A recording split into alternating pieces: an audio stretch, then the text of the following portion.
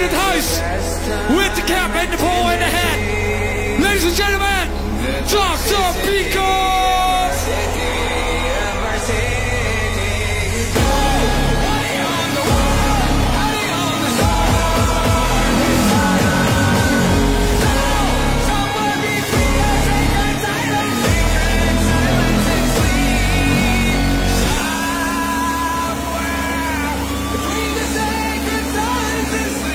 Like I said, Dr. Peacock in the house, y'all.